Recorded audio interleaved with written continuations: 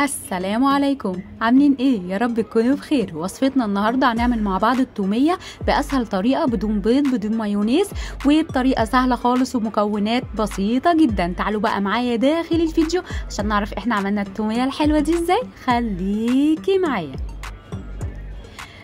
هي دي مكوناتي ثلاث مكونات فقط. أنا معايا كده إيه نص راس من التوم. تقشريها بقى. أي نوع توم انت بتستخدميه. ونص كوباية كده من الزيت. أهم حاجة يكون نوع الزيت كويس.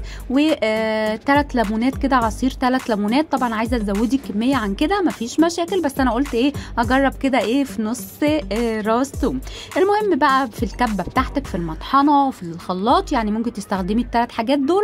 ابتدي كده إيه آه آه اديها ضربة كده بسيطة. وبعد كده هبدأ أنزل عليها آه بعصير الليمون اللي عندك. ابتدي بقى اضربي كل الخليط الحلو ده مع بعضه لحد ما تلاقي القوام كده بتاع التوم كده آه اتطحن خالص وبقى آه كريمي.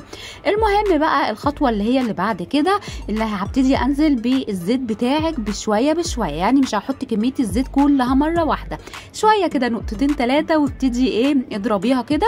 لو سلام بقى لو هو في الخلاط أو لو كبة عندك يعني هتكون أسهل طريقة. بس أنا عشان عاملاها في في المطحنة دي فكل شوية أشيلها وأبدأ أنزل فيها شوية بشوية من الزيت. طريقتها سهله مكوناتها بسيطة وفي نفس كل المكونات الحلوة دي عندك في قلب البيت. زي ما قلت لك كده لحد ما تلاقي القوام يتقل معاكي وتلاقيه كريمي. عايزة تقليه عن كده؟ مفيش مشاكل ما تزوديش كمية الزيت اللي عندك.